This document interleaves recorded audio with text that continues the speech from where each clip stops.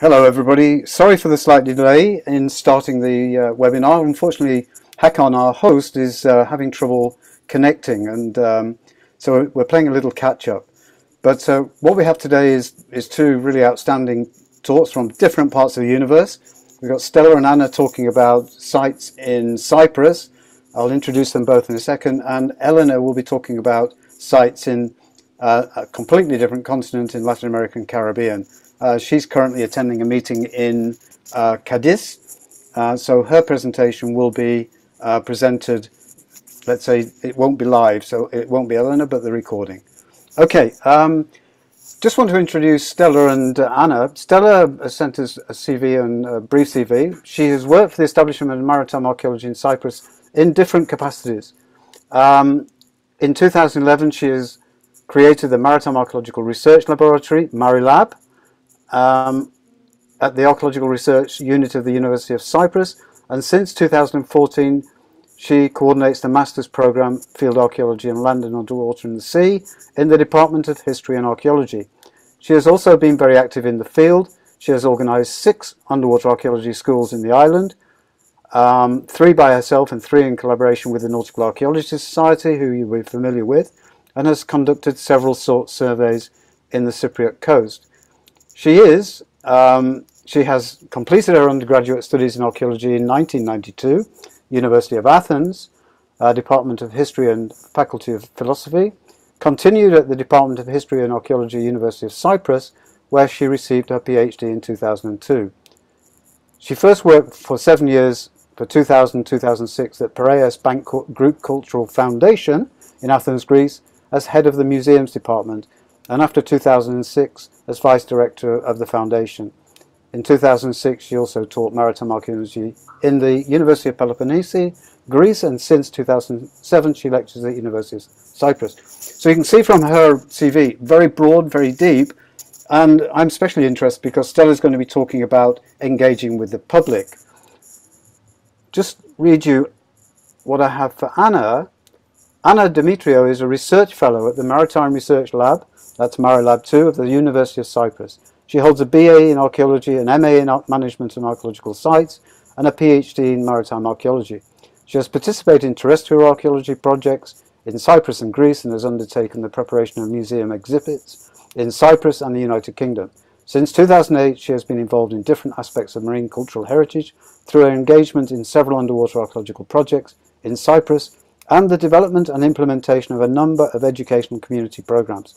Her particular research interests focus on the examination of ancient shipwreck sites as places of interaction and engagement in contemporary society. So again, the, the, the, the, two of them bring together a huge amount of experience from, from the Eastern Mediterranean and particularly in this presentation with education and, and public engagement.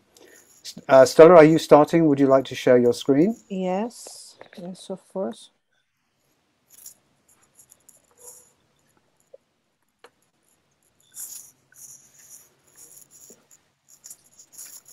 Can you all see my screen? Yep. Thank you, Stella. Perfect. Yep. So uh, thank you, Chris, for these introductions, the kind introductions, and of course, thank you and Hakan both for uh, the for organizing this webinar series. And uh, good evening, good afternoon, good morning, I don't know, to everybody that is with us. Uh, so we will start uh, with the Mediterranean as Chris said, uh, and the island of Cyprus.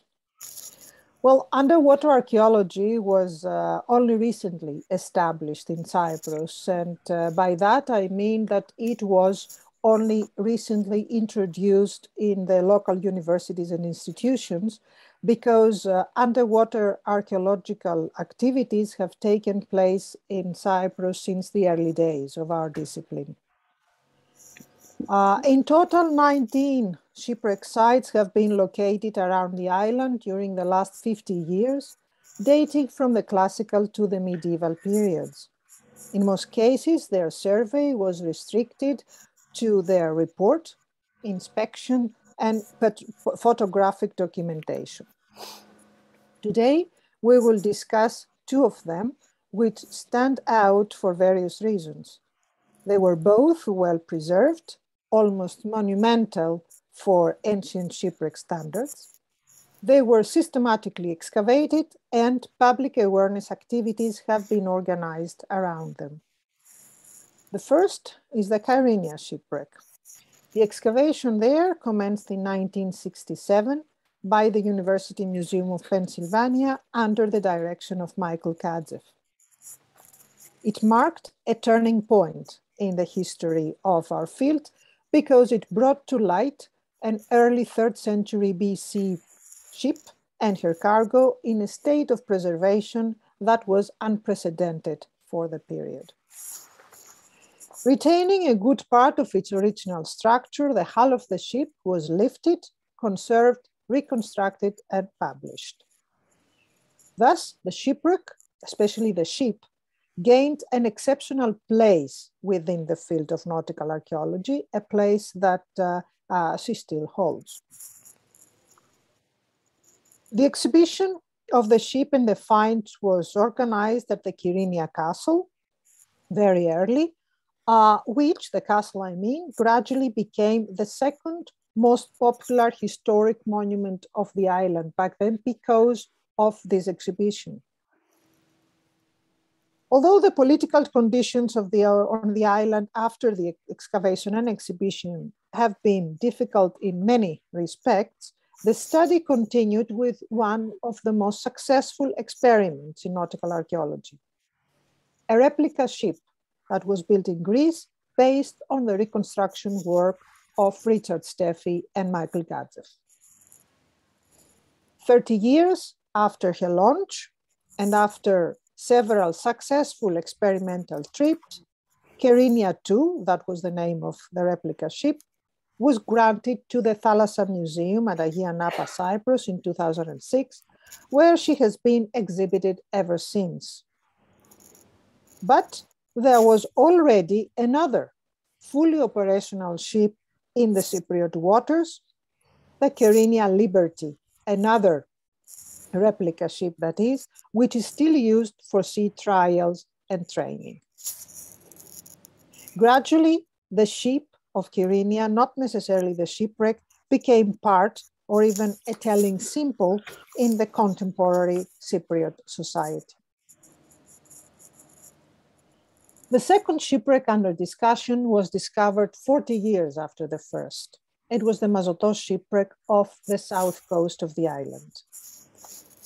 It's dated to the first half of the fourth century BC, and it was a ship carrying wine uh, from wine in transport amphora from the island of Chios in the Aegean.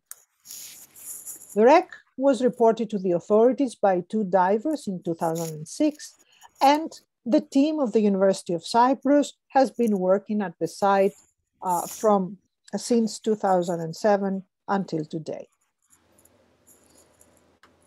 During the 14 uh, field seasons that have been organized all these years, a total of 151 divers have participated uh, in the project. That's the 14 field seasons. There were survey and excavation seasons. A lot of the divers have come from abroad, but a growing number of local divers have also participated and have become aware of how important it is to protect wreck sites. They have acquired the skills to assist with archaeological investigations and have come to acknowledge that maritime archaeology is not just about raising old artifacts from the sea bottom. It is not even fun diving most of the times. Building on this particular aspect of the project, the divers I mean, two public awareness activities have been organized in collaboration with the Nautical Archaeological Society. The first was a field school for technical divers. It took place in 2016 during the excavation season, and it proved to be a learning experience for everyone. We all realized that it was not easy to create an effective class on a complex and deep site. In 2019, therefore, we tried something different. with another project called Reaching Out. We offered the opportunity of engaging visits to local divers that had heard about the wreck during all these years, but did not have the opportunity to visit the site or take part in the project. The results gave us more food thought. We all know that divers like to dive different sites, but it's hard to understand if such visitors were more interested in the diving experience than in the knowledge that we were trying to convey. They're doing both, most probably, but that uh, had uh, made us starting start thinking of more effective ways to bring the public closer to uh, what we do at Mazotos, and you will hear more on this uh, by Anna Dimitriou very shortly. Our public outreach activities also concerned non-divers, of course. Over the years, several classes of archaeology students, my students, had the opportunity to spend time on board our support vessel or contribute to the copious tasks of documentation or digital documentation in the office. The local pupils of Mazotos had often the opportunity to see our finds. And you see Anna here showing them to them uh, and develop their own creative activities at the local school afterwards. Whereas presentations of the excavation results at the municipality of Mazotos have created a bond between the village and our team. Beyond the village of Mazotos, we drove the Cypriot maritime bus thanks to uh, a funding grant by the Honor Foundation. So we drove the bus around the island for one month in 2017. The mobile exhibition attracted more than 2,000 people who learned what maritime archaeologists do. And most recently, an exhibition was organized at the Thalassa Museum at Ayia Napa, which was the, a deliverable of an EU-funded project called iMARECULTURE. Uh, and the project was on virtual reality applications in maritime archaeology. So through this exhibition, visitors were introduced to a different kind of visit, a dry visit, as uh, it was called, to uh, a visit to the shipwreck through virtual reality. All these types of dissemination and public outreach activities are surely very well known to most of you. So our goal tonight is not just to show you what we did or what has been done, but take it a closer look at the public which we're trying to reach in order to understand better how different groups of people conceive our work. The two Cypriot shipwrecks that I have just presented very briefly made perfect case studies for this because they are so similar and so different to each other at the same time in many respects. Dr. Anna Dimitriou has conducted her PhD research on the topic and we'll share with you the results of your work. So up to here now, Anna. Thank you. Uh, before I talk about the research I have done, let me outline its general context by taking you years back to my first contact with shipwreck archaeology when I was still in the primary school. I still remember the intense emotions my teachers conveyed to us about Kyrenia 2 and her sailing. Their narratives were further enhanced to my mind by the multiple images of the ship through different means, which reflected her great impact among the Cypriot society. Years later, my professional involvement in the field gave me the opportunity to engage in casual discussions, mainly with divers participating in the Mazotos shipwreck project, but also with fishermen and locals. There was a common denominator among them, a subtle sense of attachment with the site. In an attempt to achieve a deeper understanding of the contemporary social context of ancient shipwrecks, during my PhD research, I undertook an ethnographic survey around the different public groups associated with the maritime and the terrestrial spatial context of the Kyrenia and the Mazotos shipwrecks. The interviews conducted enlightened several parallel stories, of values, and uses of the shipwrecks that were up to that moment silent. The Kyrenia shipwreck excavation started soon after the location of the site and its report to the authorities and was completed within two years. This fact generated strong stimuli among the locals whose life revolved around the port's waterfront. They were able to see on a regular basis the archaeologists unload the amphora lifted from the shipwreck at the harbor, and later on, the timbers of the ship being transferred to the Kyrenia dock. Their experience was enriched by the national and international interest around the site, as expressed through the presentations already described. The monumentality of the site fostered feelings of pride and ownership among the locals, while its temporality, to quote them, confirmed our roots. For the local community, though, the shipwreck was not confined to an abstract association with the distant past. The shipwreck was linked with their present, to their present, their daily routine engagements with boats and the subsequent social relations that evolved around the sea. As this factor played a key role in the production of their collective identity, the locals of Kyrenia felt an instant bond with the ship. It affirmed the most basic aspect of their identity, their maritimity, which they felt singled them out as a community. The intimate bond the locals felt around the Kyrenia ship motivated them to seek an active role in the ship's contemporary biography years later. The second replica of the Kyrenia ship, Kyrenia Liberty, was constructed in 2003 on a local community's initiative. The primary role of Kyrenia Liberty is to continue the experimental archaeology practices initiated with Kyrenia 2. The locals, who are responsible for the maintenance of the ship, organize and implement the experiments in collaboration with the Kyrenia Shipwreck project team. In this way, they reproduce the activities and social relationships developed around the Kyrenia Sea.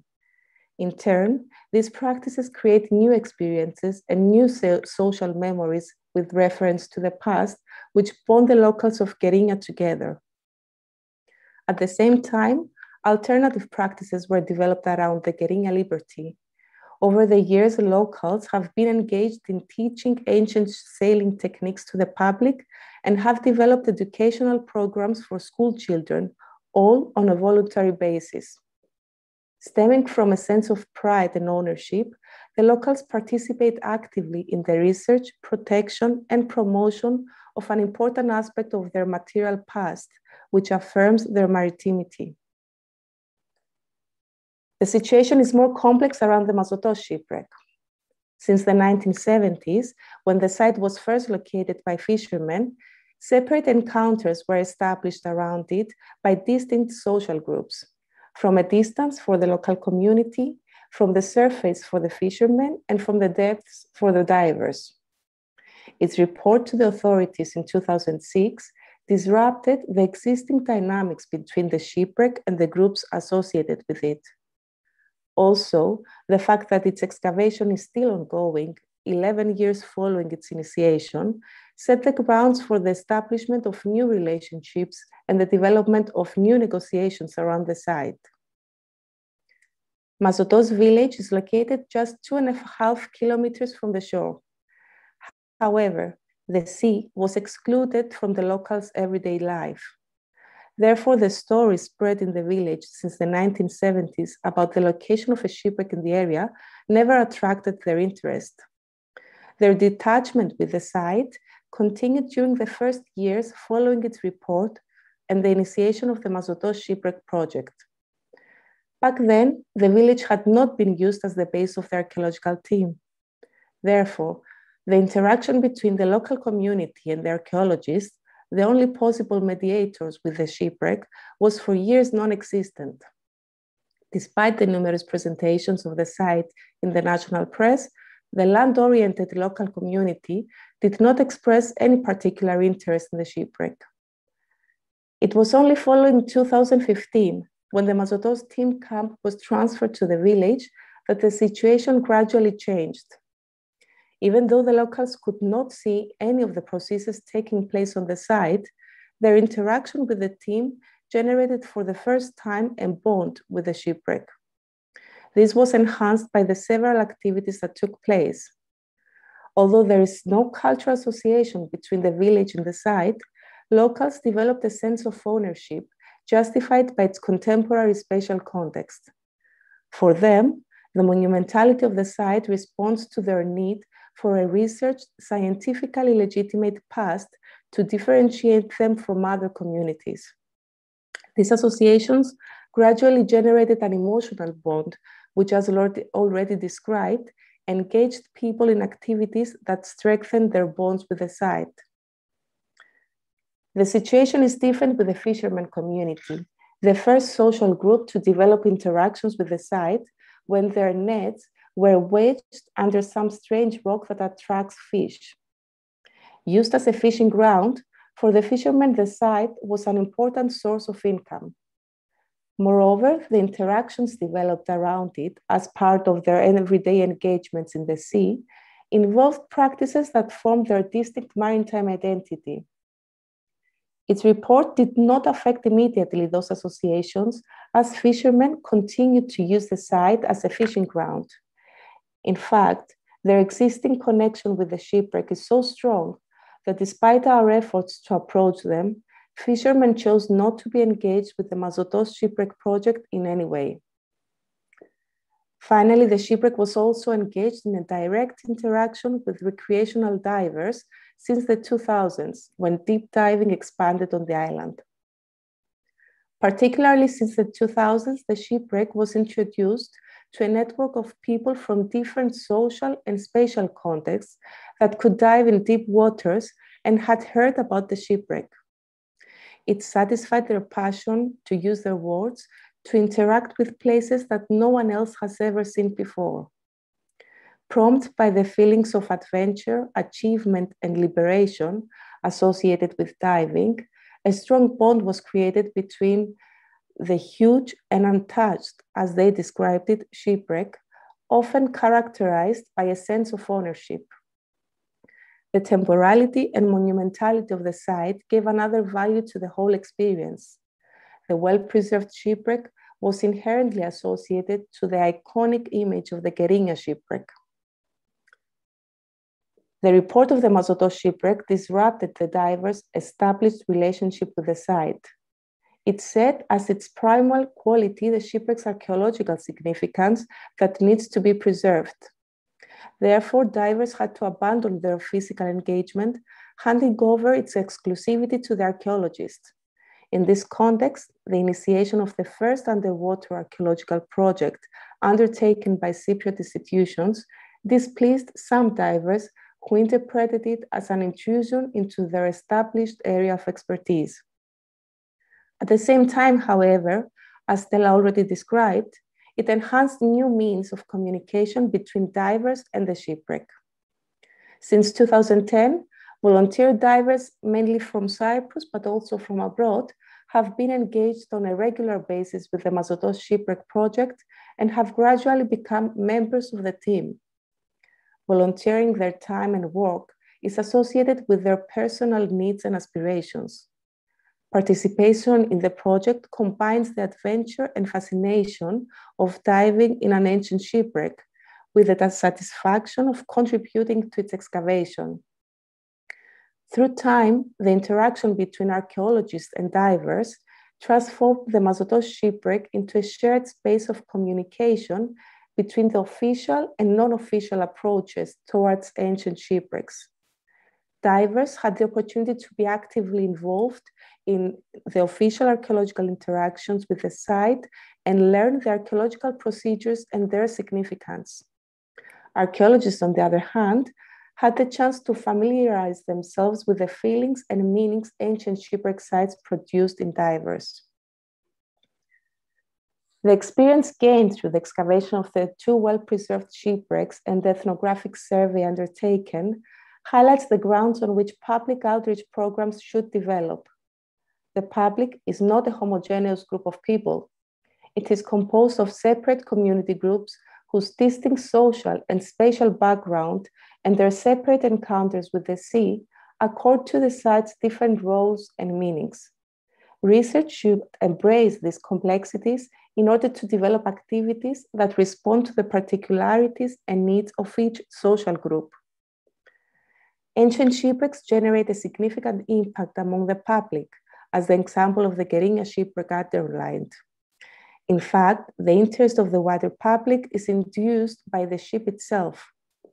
The reconstruction of the Kyrenia shipwreck, the Kyrenia 2, was an opportunity for the public to sense and visualize the ship in multiple ways and places. Through this, the public was able to appreciate the qualities and importance not only of the replica, but also of the shipwreck. Turning to the local communities, as they are spatially associated with the contemporary location of, ship, of shipwrecks, they connect the sites with their collective local identities and subsequently develop a sense of ownership around them. As our experience has shown, this bond cannot take a concrete form unless a direct relationship is carved with the local communities through alternative methods of approach. These may not directly serve the main scope of public presentation to raise awareness of the value and the need for the protection of ancient shipwrecks. However, encouraging the local communities to sense the site as their own and to play an active role in their contemporary biographies could, in the long run, prove to be invaluable for the protection of shipwrecks. Fishermen, on the other hand, although sensing shipwrecks only indirectly, create the most intimate bonds with the sites as they constitute part of their everyday engagements and the source of their livelihood. However, as the Mazotos case has shown, this relationship is so strong that any other activity developed around the sites remains beyond their interest.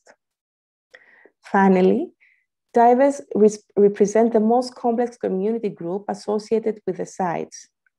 Training and incorporating divers in the archaeological team has certainly positive outcomes.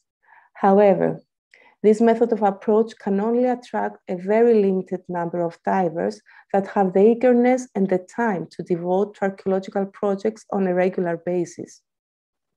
In fact, what most of the divers seek is just to dive on an ancient shipwreck. In this context, visits to shipwrecks located in deep waters are different from those from visits to other types of sites, either maritime, such as harbors, or terrestrial. The immersion in deep waters requires technical knowledge and certain preparatory procedures. It also entails bodily, sensory, and emotional modifications, which in most cases multiply with deeper, with deeper depths. For this reason, the primary incentive for divers to visit such sites is not always curiosity about the past, but the experience as such. This feeling is further enhanced by the fact that no complete interpretation can be achieved in the underwater environment, as the Cyprus example has indicated. Therefore, if raising awareness among the diving community is what we seek, maybe we should consider the type of experience one could offer around ancient shipwrecks in order to achieve a comprehensive presentation and interpretation of the sites. Thank you. Thank you, Stella. Thank you, Anna. Um, do we have any questions? And can you direct them through the chat?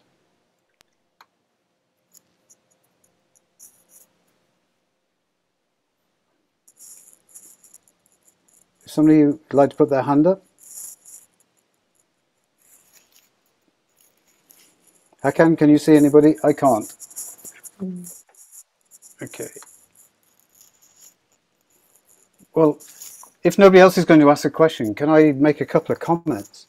Um, as both Stella and Anna will be aware, I, have been had a good connect, long-term connection with the NES and public archaeology in general, and I can say with my hand on my heart that was extremely clear in dealing with all the issues from the early finding of a shipwreck, and obviously I'm thinking a little bit about the Mary Rose here in the background because it has a similar sort of trend and timeline and importance nationally to Cyprus, as did Mary Rose in the UK. But similar things appeared, and the way you've articulated all of those issues, it sets an absolutely terrific, let's say, benchmark for people to look at. And I, I really hope people look at your presentation because it does identify the challenges, the need for inclusivity, all of the things that you guys will be completely familiar with, but some people starting public archaeology and knowing how to reach out to the public will probably be in a way lost because uh, it is quite challenging at the beginning. And I think you've refined that process. Clearly, it it it it fits the Cypriot um, requirement, which is obviously you know national identity. All of those things are important in this. Um, but I think it was extremely clear. So very very many thanks from my point of view, and I hope the the listeners felt the same about the presentation. Hakan, do you have any comments? I hear you joined us. No? No, thank you for your comments. Chris, indeed, you know very, very well uh, the challenges in uh, all these activities. Yeah. And uh, what we wanted to share with you is that uh, nothing is straightforward. Uh, mm. No, but no, we cannot just have um, uh, standard practices and to expect them to be uh, successful or have the mm. same impact everywhere in every site with uh, any public group. This does not work anymore. So yes, there are standard practices, but uh, all to take into consideration for sure. Yeah. Yes, completely agree with that, Stella. Everything has to be tailored to a particular site and, and sort of local identity and local need. Um, any further comments before we move on to um, Elena?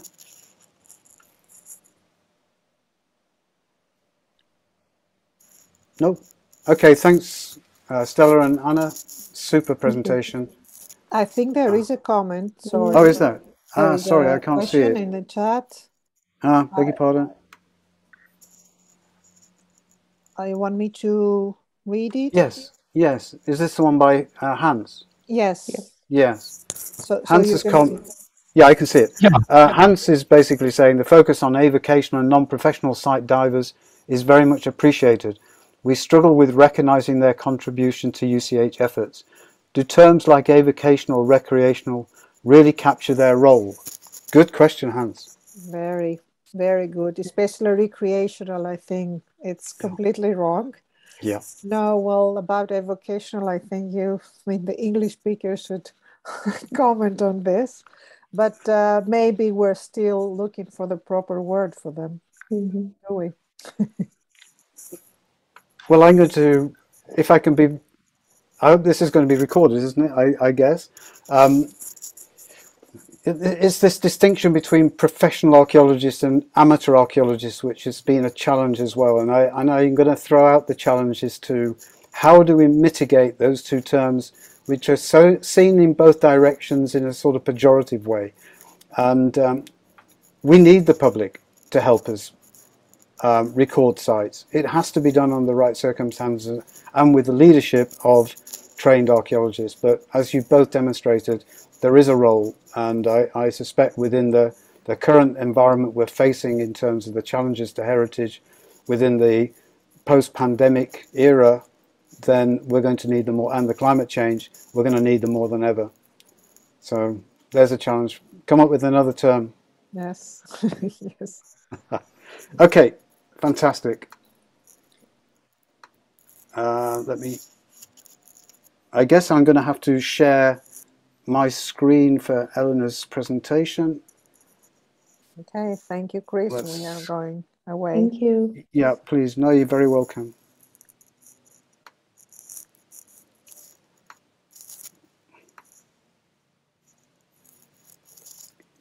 Okay, over to Helena. I'll just um, give her bio. Elena Barba Meinecke is a Mexican archaeologist who graduated from the National School of Anthropology and History, INAH, of the National Institute of Anthropology and History, INAH. She has a master's degree in nautical and underwater archaeology from the International School for the Doctorate in Sea Studies, uh, University of Cadiz, Spain. Uh, that's in, in, fact where she uh, is at the moment. She is a researcher at the Subdirection of Underwater Archaeology, responsible for the Yucatan Peninsula Office, uh, Mexico representative to the 2001 UNESCO Convention on the Protection of the Underwater Cultural Heritage, a member of its Scientific and Technical Advisory Board, having pre been previously its president. She is also a member of the Bureau of the International Committee on the Underwater Cultural Heritage and coordinator of the Scientific Committee on Underwater Cultural Heritage of the Mexican ICOMOS um, board. So an, another person with a huge depth of experience and knowing um, this particular part of the world reasonably well and certainly this site, this uh, is going to be an exciting presentation. So if Helena was listening, I'm going to say over to you and I'm just going to press the go button. Hi everyone. I am grateful for the invitation uh, to the coordinators for this event and coach Hakanamisa Christopher Underwood. Next, I share the video of the conference titled Underwater Cultural Heritage in the Yucatan Peninsula, Mexico. Uh, the submerged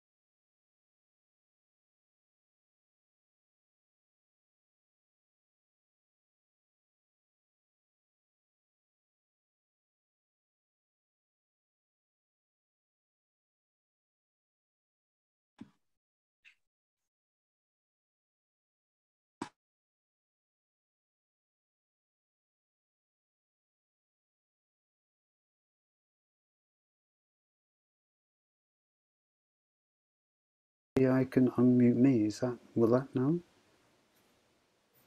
Oh, I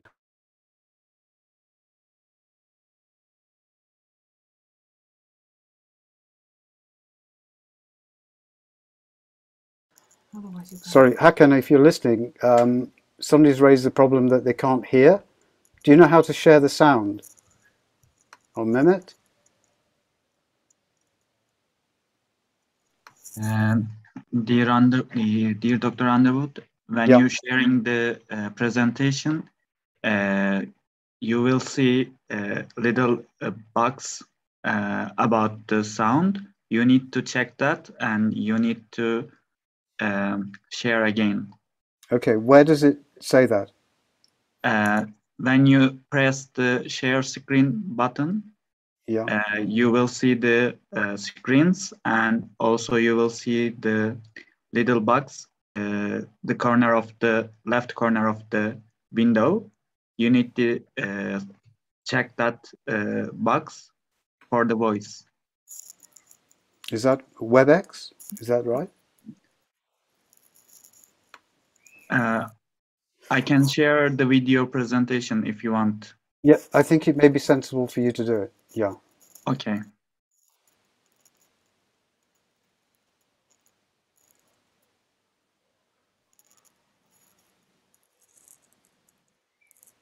Tours for this event and coach Hakanonisa Christopher Underwood. Next, I share the video of the conference titled Underwater Cultural Heritage in the Yucatan Peninsula, Mexico, uh, the submerged cave of Hoyo Negro, Quintana Roo. Uh, digital documentation and virtual access in an archaeological context of prehistory. This is called Touring with James Chatters, Dominique Rissolo, uh, Vid Petrovic, Blaine Schubert, and Alberto Blanc. I have uh, videotaped it for your science. I am the Science Congress in Spain. Uh, I thank the Master in Science, Diana Arano, for her reading. I take the opportunity to greet you all.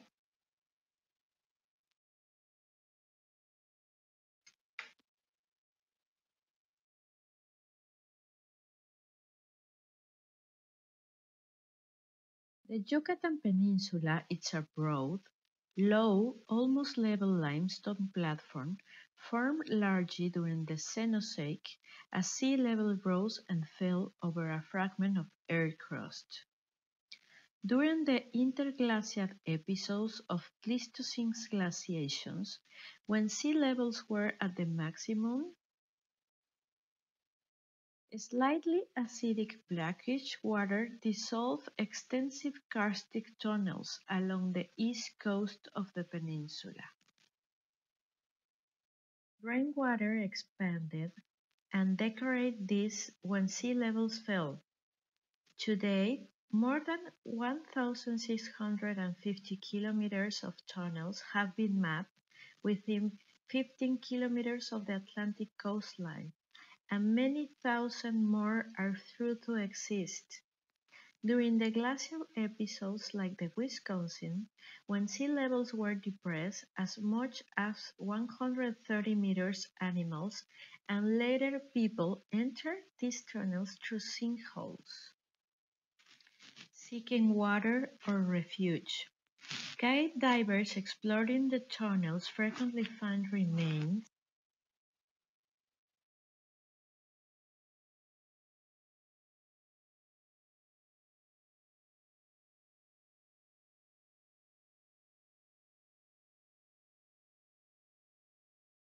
of megafauna like this stink gomphotherium or this giant ground sloth. They also encounter human skeletons, some of them, like this Chan Hol specimen, representing the terminal Pleistocene or earliest Holocene. Recently, divers from the UNESCO recognized NGO CINDAQ discovered extensive ochre mines ten to twelve thousand years old deep with the tunnels, providing direct evidence of why people entered the caves. The most spectacular of the finds in the caves is Hoyo Negro. The site was discovered in 2007 by another team of cave divers who had chosen to map a cave called Outland which is located about 10 kilometers north of the city of Tulum. As they extended their guidelines through broad, highly decorated tunnels where they encountered an abyss that swallowed the lights completely, naming this the black hole, after the celestial body so dense not even light escapes. They returned a few weeks later with better lights. They found the abyss was an immense well, bell-shaped chamber up to 45 meters deep and 60 meters in diameter. On the bottom, they encountered groups of large bones like this gomphotherium and nearly a human skull. They kept the site in secret until 2010, when they reported it to the late Pilar Luna Erreguerena, direct, director of SAS INAH. Thus was born the Hoyo Negro Underwater Archaeological Project. In its 11th year, Project Hoyo Negro has grown into an international consortium of archaeologists, paleontologists, geochemists, geophysicians, botanists, and computer scientists from Mexico, Canada, and United States. Project Hoyo Negro addressed a wide range of scientific issues, most notably bioarchaeology of the human, whose has been Christian Naia, paleontology of many species found with hair, age dating and stable isotope analysis to determine the place the various species in the ecosystem. We have had to surmount significant technical problems in the course of this work, most notably the dedicated state of some of the specimens and the effect of diagenesis of our ability to date and study isotopes of individual species. But the most severe problem has always been the deep and complete darkness of the cave itself. Working in Hoyo Negro up to 120 meters from the nearest access point, at a depth from 39 to 55 meters, requires divers with both cave and technical dive training. Only two of our scientific team, both geochemistry are cave divers, and only one of these has technical training. As a result, most of the scientific of the team have never directly seen the site. We must use the divers who include the site original discoverers as their remote operated vehicles. Working with photos, videos, and samples they bring to the surface, we work with them to devise a plan see them into the deeps. Then wait nervously at the surface, hoping the plan was successful. Early in the project, we work only from photographs to study the deposits. As of this date, we have been able to identify at least 50 individual animals of 20 mammalian species. Eight of these species are extinct, including saber-tooths, gomphotheres, South American short-faced bear acanid, and four species of giant ground sloths. They range in age from 40,000 to 11,000 years old. The most important find in Hoyo Negro is a human, Naia, at 30,000 years, one of the oldest and certainly the best preserved human skeleton in the Americas. Our initial goal was to study the site, particularly Naia, in place with just minimal sampling to determine her age and stable isotope composition. But early as 2011, it became apparent that unauthorized divers particularly guides bringing tourists to the site, posed a threat to its scientific values.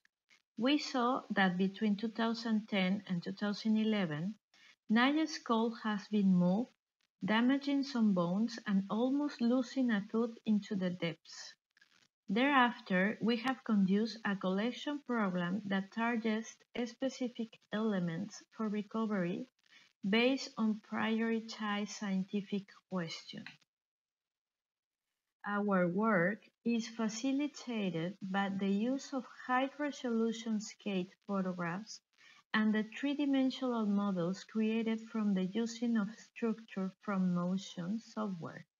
Nothing is collected until after a high-resolution 3D model is produced of it and its immediate surrounding and with the saber-tooth and peccary skull at left, the entire floor has been photographed from a grid set as a depth of 30 meters, allowing us to produce a low-resolution model of the entire area. Now the walls and surrounding tunnels have been similarly modeled. The models are manipulated using 3D platform Viscore, which combines models of all scales. Calls allow our non-dive scientific to study the site remotely, often in more detail than the divers can themselves when in person. I will walk you through some of the model's features, but first, a brief flight through the site.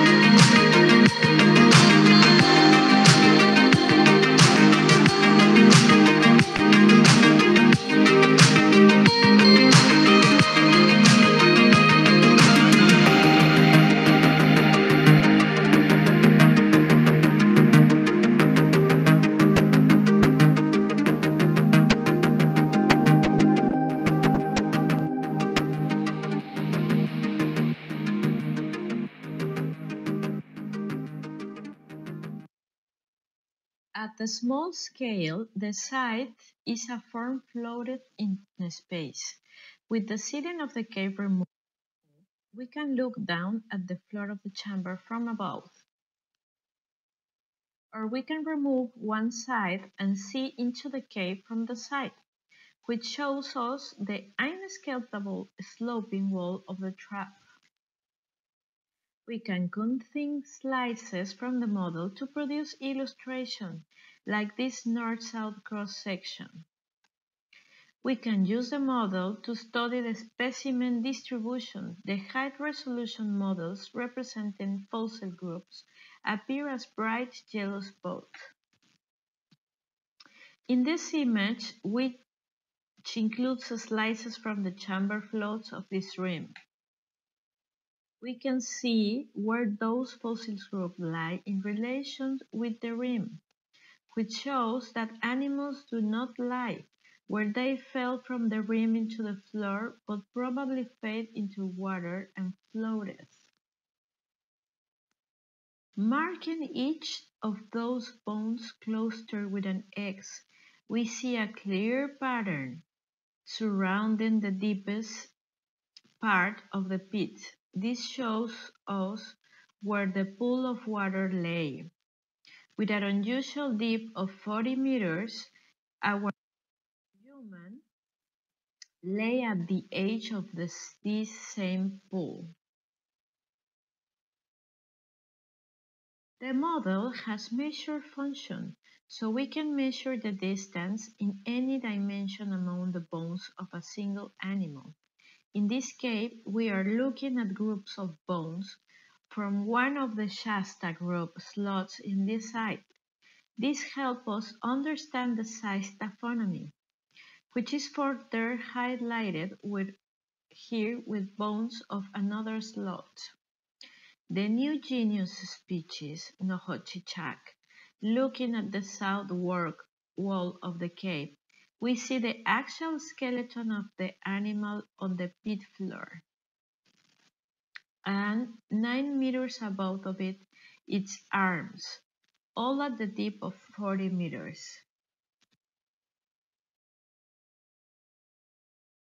They show where the water surface lay as the animal decomposed. The west to east scatter shows that the animal's part drifted eastward this pattern was repeated in nearly all animals, including Naia, providing she too fell into water. Working at a smaller scales, we have been able to inventory individual skeleton.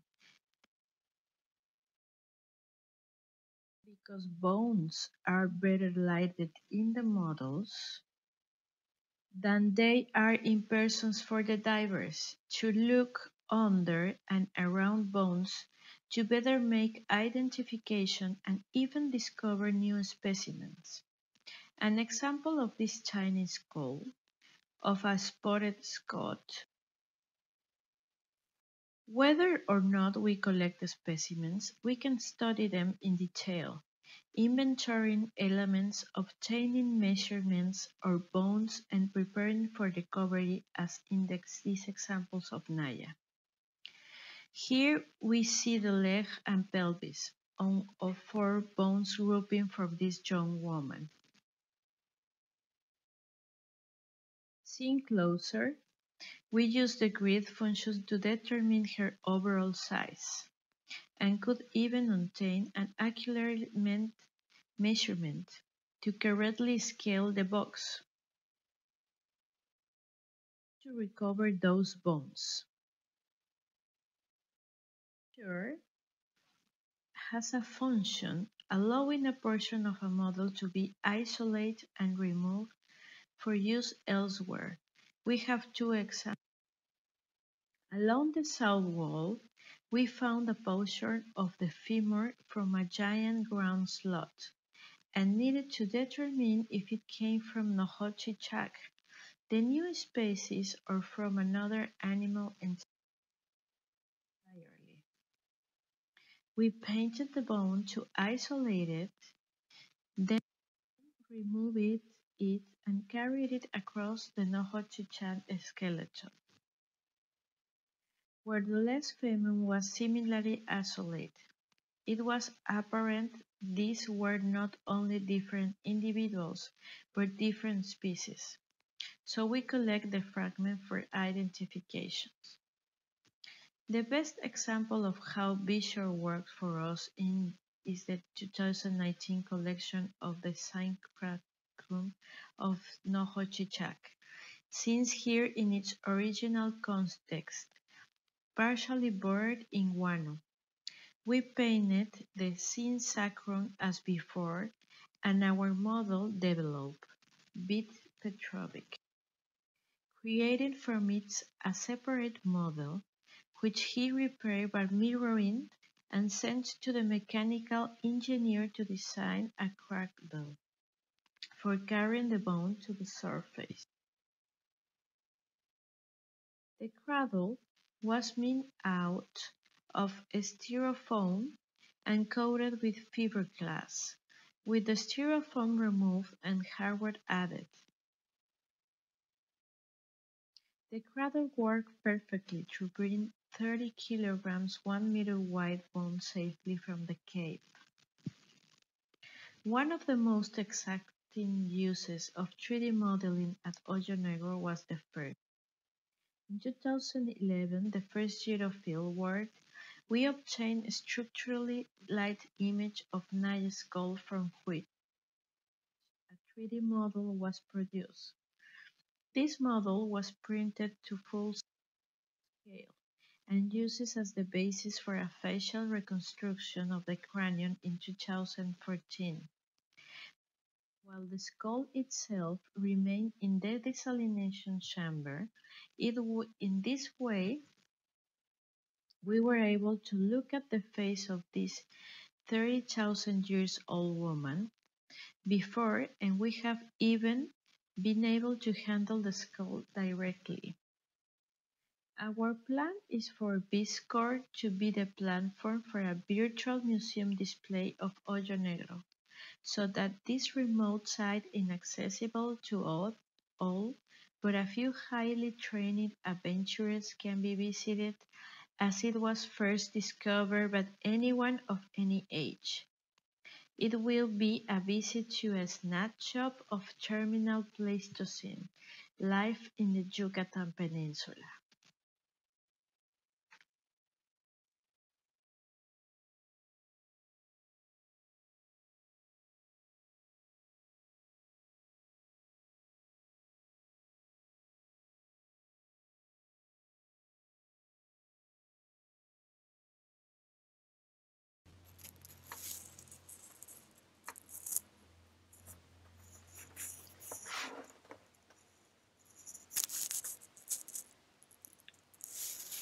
Hello everybody. That would appear to be a fairly um, abrupt ending to the, um, the video. Uh, unfortunately Helen is not with us, um, but if you'd like to put um, comments in the chat then maybe we, or questions in the chat, maybe we can save the chat and, and send them to her. Uh, what I would say about that from my own perspective is that I had the, uh, I worked with Pilar and Eleanor on an NAS course for the uh, the team must be over 10 years ago now when they were first beginning to investigate and, and obviously declared the site to, to INAH. Um, the group were highly motivated and I think I would like to think that Pilar and Elena would share my comment when they, they have behaved without fault. They've uh, invested their own um, finances in the early days in creating a mesh or a block to the um, uh, the cenote. Um, clearly that wasn't totally successful, but they tried everything they could in their power, both within the, the law of INAH and Mexico, um, to make the site um, as safe as possible. But then when they started to work with them, they brought tremendous both technical diving skill, but also computing skills with them. Very smart group of people. And as Elena very clearly showed in the in the presentation the results of their work and has, they've continued to work with INAH all the way through for the last 10 or 11 years and I think it's fair to say that without them investigating this particular cenote, Ojo Negro, would have been very much more difficult. Um, and they are a credit to, to the uh, work that's being carried on in the, in the site. Um, unless anybody's got more comments to put in the chat, I think um, we can bring the webinar to a close with a final statement. If Hakan's there, uh, can you contribute, Hakan? If not, no. I would just like to say that I think we've seen two amazing exemplars of the public outreach and the benefits of working with um, the public in two very different sites, but two incredibly important, or several very important sites, and shows the amazing. Ah, Hakan is in the waiting room.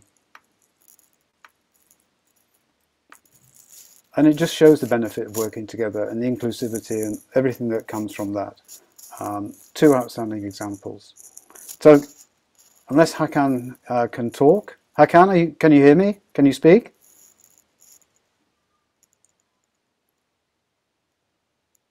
He's trying to connect to audio.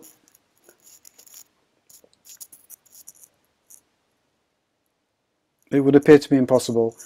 Okay, everybody. Well, thank you for your patience today. We've had one or two technical issues. Apparently, the grey bands are um, something to do with settings and security, um, which are seemingly quite difficult to remove.